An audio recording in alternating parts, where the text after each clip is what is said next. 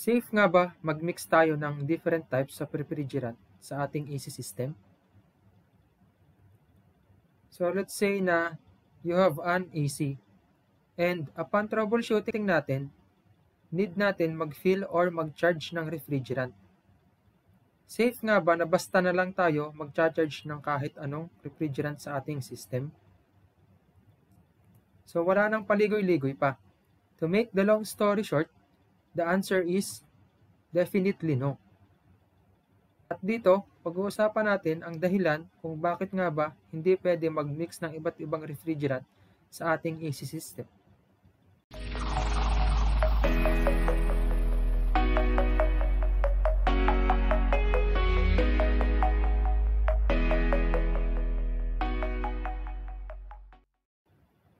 First, paano nga ba natin malalaman kung anong refrigerant ang kailangan ng AC natin? R22 ba? R134A? Or R410A?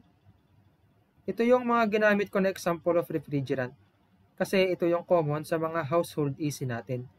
Pero bukod pa dyan, madami pa ding tayong iba't ibang klase ng refrigerant. So paano nga ba natin malalaman kung alin yung gagamitin natin? Pag bumili tayo ng aircon or kung may existing aircon na tayo, meron lagi itong nameplate or labeled sticker na kung saan nakalagay kung anong refrigerant ang para sa kanya. So kung makikita natin sa kada nameplate niya or sticker, included kung what type of refrigerant yung gagamitin natin. Pag sa window type, normally, nasa gilid siya ng unit makikita. Pag sa split type naman, normally, nasa outdoor unit to nakalagay. So, kung gusto nyo malaman, hanapin nyo lang yung label at doon makikita nyo kung anong refrigerant yung dapat natin gamitin para sa aircon natin. First reason kung bakit bawal mag-mix ng refrigerant kasi may kanya-kanya tong characteristics. At dito, isa-isahin natin ang mga yon. R22, R134A, and R410A. For uses, all of these refrigerants ay applicable for refrigeration and air conditioning natin. And also, lahat din sila ay non-flammable. So, safe sila in this case.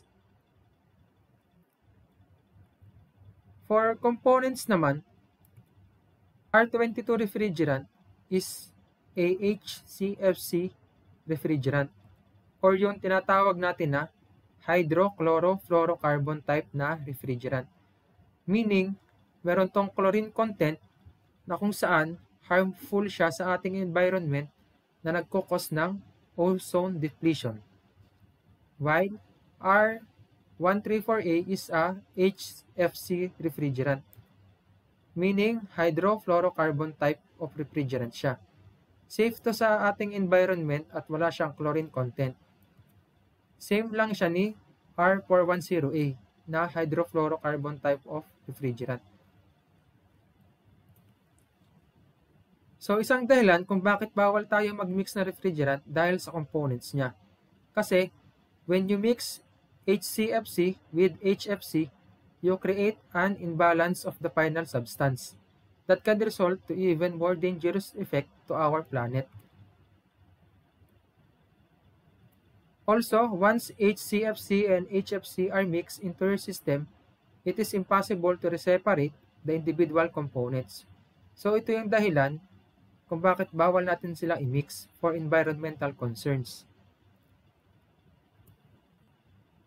The other one is suction pressure. For R22, we have suction pressure of 60 to 70 psi. While sa R134A, between 30 to 40 psi siya. And for 410A, 110 to 120 psi. Also, discharge pressure is different. Sa R22, 250 to 290 psi.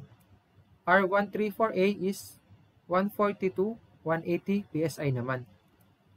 While sa R410A naman, 400 to 500 PSI. So, ito yung isang concern kung bakit bawal tayo mag-mix ng refrigerant. Kasi, magkakaiba sila ng working pressure.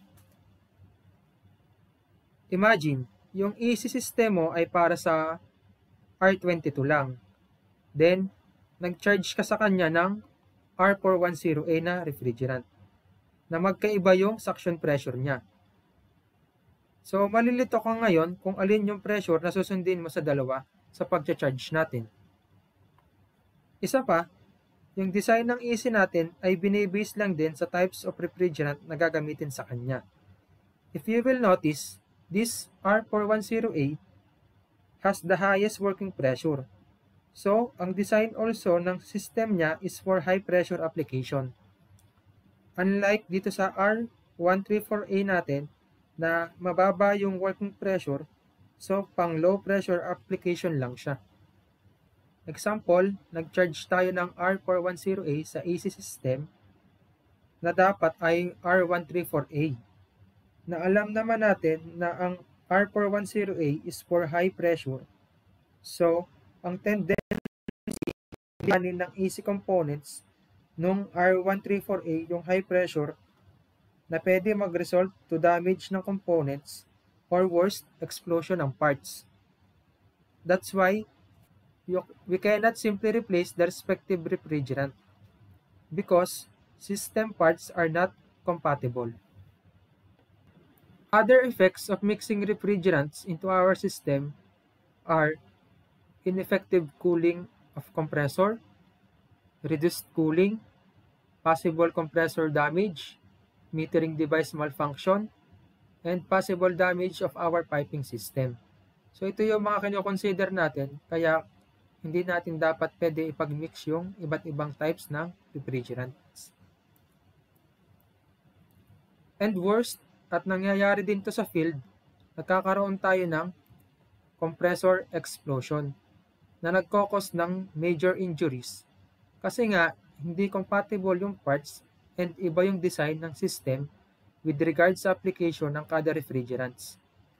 Kaya, lagi natin tandaan Safety first and always dapat tayo. Don't mix different types of refrigerants. Other characteristics is the boiling point.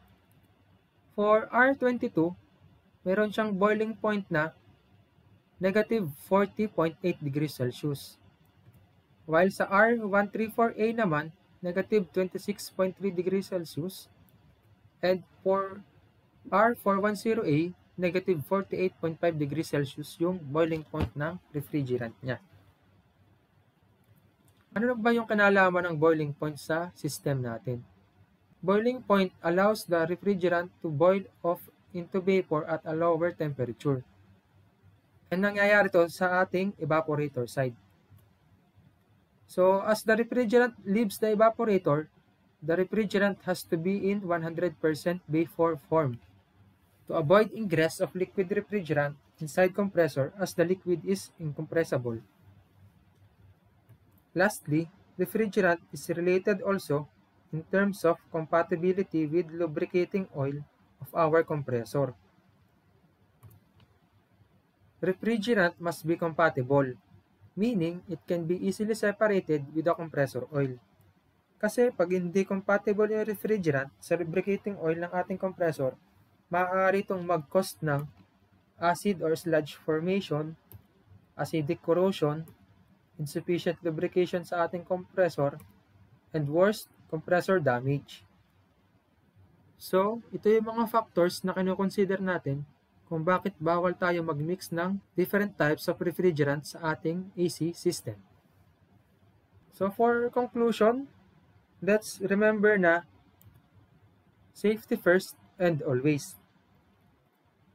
Don't mix different types of refrigerant in our AC system.